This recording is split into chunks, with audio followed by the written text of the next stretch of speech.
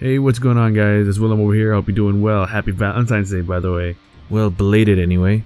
Today I got something special for you here on Warframe. We got the EOS Prime Armor. The base versions you can buy off the market, however, these ones you get from Baro Ki'Teer, otherwise known as the Void Trader. Or as I like to call him, Baroki Tier 4 Interception, as that's where I farm my ducats.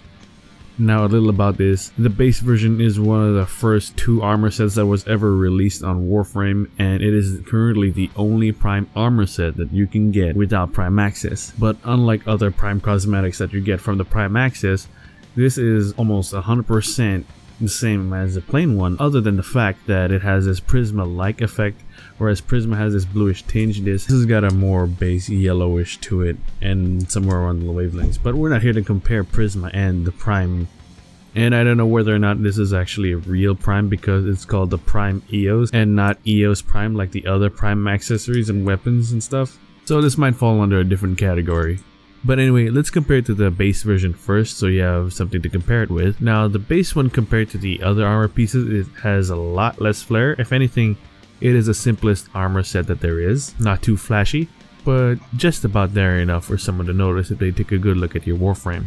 And instead of leg plates you have spurs. Now let's take a look at the Prime version. As you can see they're a lot noticeably different. Still the same structure. You can say they pretty much had the same in-game model. It's got this shiny wavy light-like effect to it. Similar to the Prisma cosmetics. The primary color and the energy color effects of what color is going to shine out. But what makes this so special? Why can't you just get another armor set that's more flashy? Is it worth the freaking ducats? I'll show you. If you set the energy color black, whatever primary color you put into it is going to come off metallic. So you can come up with different shades of gold, silver, or chrome. So you have yourself a pretty simple armor set at the same time with a little hint of flashy to it. Now why is this good? Other than the fact that less is more sometimes works great here on Warframes when it comes to customization, with an armor set like this, you could look cool while at the same time not cover up a lot of detail on your deluxe skin or on your plain Warframe. You didn't spend hundreds of plat on a deluxe skin and color palettes just so you can cover it up with armor pieces, right? I mean, I do that a lot, and I don't have a fashion sense myself, but look at this. Also, another note, on the Spurs, I find that they're pretty underrated as cosmetics because it doesn't cover up a lot of details on your legs, but it's whatever you want really, it's your game. But just look at that gold though. Here, I'm comparing it side by side with the regular one.